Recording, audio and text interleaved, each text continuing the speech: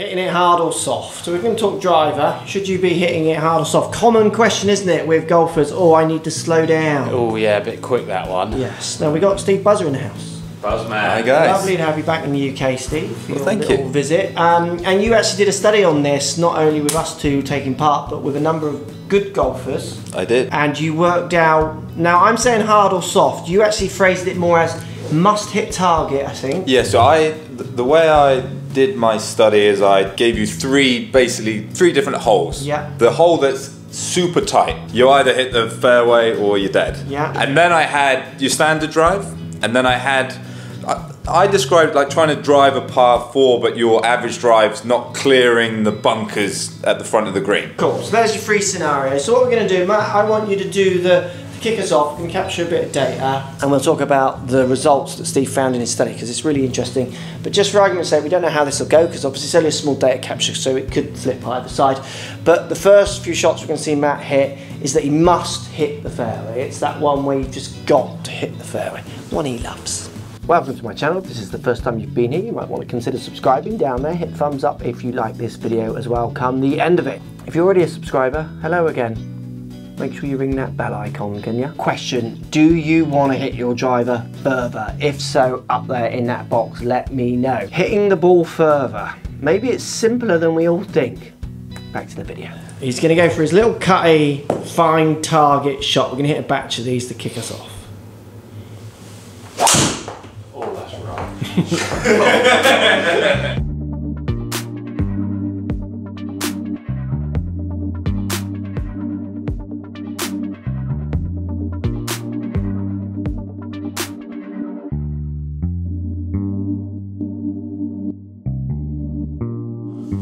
He's up, but he's not even sending them yet. So that's 10 of you trying to find fairway. Trying to find fairway. Agenda, here he is, the fair- fairway finder himself, Dan's in the house joining us for this study of the leader. Um, so that's found fairway. So the next 10 shots, So we're saying your your standard drive goes X. So what would you say your standard drive goes? Carry like 260, 270. 280 ish as well. I reckon it can So let's say we, we've got a hole now, it's 290. Yeah. It has to go that far, but I don't care if it goes wide. So you've got permission to. That's why I've taken the jumper. 10 more, we'll compare the stats and see what we P- can. people will comment now, they'll say it was the jumper. Yeah, yeah.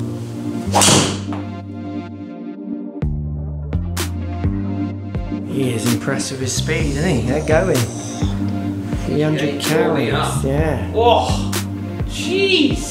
Fast, big balls. 305. All that running. Yeah, it is. Powerful legs, you see. Yeah. Yes. Speed, man. Right, that's 10 and 10. That's knackering. Now, Steve's just crunching the numbers. Um, do you have any concept before we look at them of what might be straighter or not from that batch of shots? Not obviously, don't take what you already know. Um, I it, I felt like it was easier to f- understand what was happening with my fairway finder, so I think I could hit one and go, "Oh, like that's, That's- gone right." yeah. Like I could only see sense that one went right on the lassoers, which the las- the last one. The lasso is you don't actually know what's coming out. No, like so emotionally, you would feel safer if it is slower, finding fairway and going slower, because you would feel like you know what might come out, or not.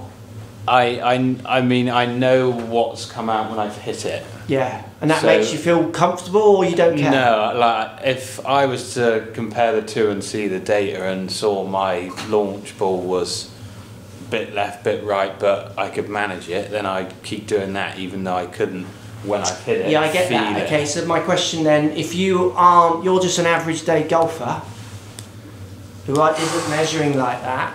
You know, your average day golfer goes, "I need to swing slower. I'm straighter. I go too fast." That comment's very common. Yeah, yeah.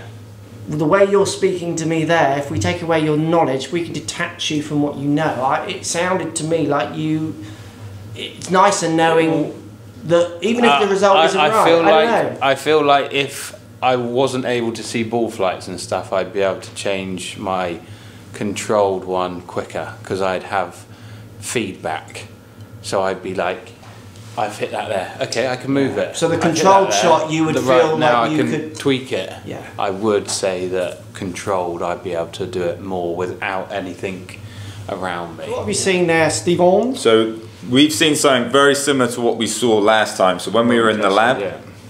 Don't swing it slower. really? yeah, so massive drop off. If you look at your carry, 287 Two eight seven. when you were trying to send it. Yeah. Which is impressive. That's good. That's Yeah, that's a great number. 243. Yeah. So you're losing 44 40 something yards. So, you, yards, so if yeah. you've lost 40 yards, you now have to hit it considerably straighter. Mm-hmm. So distance, like when you look at strokes gained, distance actually, like you look at the big guys, distance is what they want. Yeah, that actually absolutely. that has a bigger effect on that strokes gain. so if you're going to give up distance, you have to now not just hit it a little straighter. You need to hit it. Yeah, you arrow. need to be like Yeah. Mr. Arrow, Yes. you? So what's the direction change? And he must be So you're seven yards wider, what in it soft. hitting Yeah. it soft. Oh wow, double lose. So Yeah, crazy. Yeah. I get why he's saying he felt more comfortable. I think that was coming from the strike. So the strike was better when you Yeah. were going slower. Mm-hmm. So that loss of control, better player. If when you're losing the strike, it's not going to feel nerve-wracking. quite as nice. Yeah, it's nerve wracking. But you can't afford to give up that much distance. No, 40 And- yards is way too much. and and this is what I've seen a lot. So when I when I did the study, like the, we did the indoor one with you, Yeah. like at, Yeah. at, at Cardiff Met, we were in the lab. Everybody increased their ball speed. When I did it outside, only one person didn't increase their ball speed. There's more to it than ball speed. Yeah, yeah, so yeah, it, yeah. it's not Yeah. just saying go out there and whack it, but for me, it's looking at how you're practicing. yeah, You know, point. when you're doing this, just keep sending it. And we've played today, and it was pretty apparent, like when you were trying to keep it on play, like ease your way into the ramp He was, yeah, yeah. He didn't ease his way I in need that to way. whack it But- straight Yeah, from the. But off, then you got I? to Yeah. a point, Yeah. and I, I don't. uh, We haven't obviously played that much golf the last few years, but you used to go four iron. yeah. It, for me, it's hit your four iron And whack it Yeah. out. or whack it. Yeah, yeah. You know, and the more you whack it, Yeah. you're going to then take control of this strike. So I did this test as well, same time as Matt.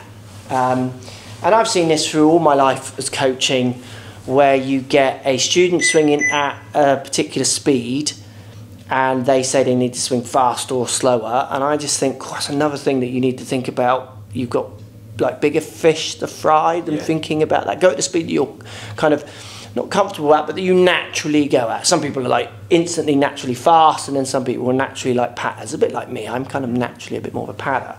Um, when we did it with me, again we saw a similar pattern where I didn't make any. I, I hit it further when I wanted to hit it further. I think you said, So but you- I wasn't straighter when I was trying to hit it straighter. Yeah, and your like Lockey's difference between when he tries to hit it straighter and his standard is it was quite big. Yeah. and he was one of the biggest, if not the biggest. standout. Yeah, so like the, what we've just shown here, I'm not expecting to see that in everyone. Yeah. you didn't have the drop off, but you didn't have the gain either. Yeah. So I, I think under the heat of battle, you're almost trying to add something and you're computing something that you don't really need. So again, I would be better off going at full speed or a comfortable speed because I think you saw not much of a difference between comfortable and full Yeah. when I went to try and hit only target.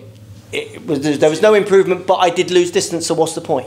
Yeah, exactly. And then when you're looking at the distance one, you were able to increase ball speed. Like I didn't look at um, strike. Yeah, You know, that's not something that I was looking at in Yeah, yeah. in my study. Yeah. Um, what we've just seen here with Matt. was interesting, Yeah. yeah. and like we we would happily buy a new driver for a couple mile an hour improvement in ball speed. Like if you can put that in there. So for your average golfer out there who wants to slow down, you know, you've heard it. Like I'm going to hit one here, so I'm like bit nervous. I'm going to hit uh, like a nice soft driver here and just try and find target. I feel more comfortable. we you've not seen that actually helps many people at all. So they do drop off distance. So that one's going like 230 yards, but then in turn they're no straighter. So we want golfers out there swinging a bit harder, basically. So? I, I want them So- swinging harder. Yeah. And what I saw in the study as well. So we're talking about like what the ball is doing here. Yeah. Um, we, we we had this boy in his pants. Yeah. if you remember. So we put Everyone remembers So that. we put the 3D marker system Yeah, yeah. on. not one of the players compromised their sequencing. Okay, so what So- Steve so- means by sequencing, as in when I'm swinging, I've got, for argument's sake, hips turning, knees moving, feet moving, shoulders moving, hands moving, clubs moving, all at different speeds. And certain sequences need to line up to give me some kind of delivery. Basic feeling as I can turn my shoulders, um, try and keep my hips back, and that's going to change paths and deliveries. So what you're saying is that people's swings basically stayed intact. They stayed intact. And that's the one thing that you hear, isn't it? I need to go slower because I, I lose my swing. Yeah. What I would say though with the amateur that struggles with driver, they might have a sequencing issue. Yeah. So slowing down kind of it doesn't make it better, it just hides the problem. Yeah, yeah. So you might go, well I need to make a few technical adjustments to actually get what I actually need. I mean, how many of you in lessons have had this? I've had this so often. You ask someone to do something, and they're thinking a lot. You know, because you you- sometimes you're asking someone to do three things on top of each other through a lesson, and you obviously never want it to end that way. But it's like, try this, okay, that's not working. Try this, no, that's not working. But they're still retaining a bit of everything. Where they do the swing that isn't a swing. Does that make sense? so then, you know, they go, all right, so try this. And then they start going, oh, and oh. And I'm like, you do a practice swing or you do a shot. That I don't, I don't want that mix. Like, I want you going at speed within reason. Otherwise, this is kind of pointless because it was oh, so like robotronic that no one's going to hit the ball like that. So Matt almost is like robotronic trying to hit fairway, isn't he? Definitely. And what, what I like to, when I was doing the research, all we were doing is looking at it set in time, like three different holes. When I apply this to practice now, I, I call them fireballs. I like people to hit five balls, just trying to hit them out there as far as they can. I'm a strong believer if you do that every session, you'll start to learn how to harness it. Yeah. I love that. So for people practicing at home, people who want to get better, obviously anyone going further and keeping. So if you all keep the same level of accuracy that you've got now, let's say you've got some level of accuracy, you play golf and you finish, you don't lose a ball every shot you hit. If you can add 10 yards to that, which is what you're all buying when you look for these, trying to, in theory you could be better. So for them practicing, so you want a batch of different kind of shots, is that what you're saying? No, just five, five balls. Yeah. And, and what I what I will do is I'll pull them away and put them to one side. yeah. You know, just so it's there. But um, where we used to be at Clifton Hill, great example. There used to be a bank. At the back. Probably still there. Yeah, there's, there's the bank. All I'm trying to do is hit it on the bank. Yeah. I don't care where on the bank. Yeah. And it gets rid of uh, some of those technical thoughts, so that can help the person. So that's you going at like So that- crazy. that's speed. me going at it. Yeah. And it, it feels a little uncomfortable. I, I think that's what Matt's point was, you know, because I'm exerting myself. Yeah. It's a, it, it would be a bit like going in the gym and going, I don't really want to sweat, mm. but I want lots of muscle, so I'm going to pick a weight I know I can do. Yeah. And you go in there, and you, your confidence might get up, but you're not going to see any gains because we have to overload our system. Yeah. And that's what I see these five fireballs doing. You overload yourself, and then over time, you actually adapt to it. Yeah. So it's a, I mean, it, the, the the message never changes for me. Really, it's good. I really like that, Steve. Thanks. It was interesting. You know, basically, it's the same idea of people going out there and just trying to hit that perfect drive each time when they're practicing. Actually, really, what are you practicing? And the building in muscles analogy there is spot on. Like you're just going out there and massaging your ego. That has its place. You want certain confidences going in to um, rounds and things like that. But think about it. Matt possibly feels more comfortable going slow, but the data proves that he's not. So he can keep massaging an ego that doesn't help him, or he could try and get better. You know, why give 40 yards up? Like for Matt, it's a massive gain to have given away when we're talking about seven yards of accuracy difference. It, it's, it's a no brainer, isn't it? Yeah, absolutely. Um, my students, I would always go, I want you to do X, Y, and Z, but I want you to do it at the, like the best speed you can do it at. Mm-hmm. Like, show me top speeds. I want it going. I want it going further. Yeah. If you know they come off the rails and we need to slow it down, and you see an improvement in movements. But I'm always trying to then get it back up, and I think amateurs are just so keen to try. They think softer is better, don't they? Really, where your study is kind of showing that maybe that's not always the case. Yeah, and I think there's some added distance there for you.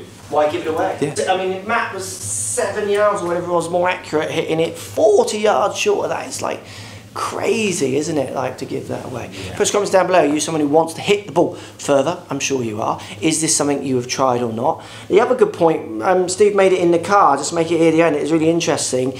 Is that basically people are really scared. So they hit a few really hard and they like miss the planet a bit and then they instantly switch that off. Hitting it really hard you saw matt's um, strike start to deviate a bit more. So yeah he might early on hit a few wild ones but if you do it enough you do those five shots that steve says each practice session keep looking at the data in your head as you hit them. Look you know i do miss them a bit right when i do that but look how much further they're going. There'll be situations you'll be able to bleed that information onto a course where there is that wider hole and you've practiced hitting it that bit harder. I always i compare it to this one for me. I the ball quite well like that because I practiced it. Yeah. Because I, I did it as a kid. I'm hitting the ball, you're a bit bored in the end. How far can I hit it? Well, that's how I worked out a bit further. And I've actually used it in competition play, in situation. Get practicing those skills. Forget perfect. Start whacking it. Long balls, man. Long balls. They were long, man. First. They were big balls, weren't they?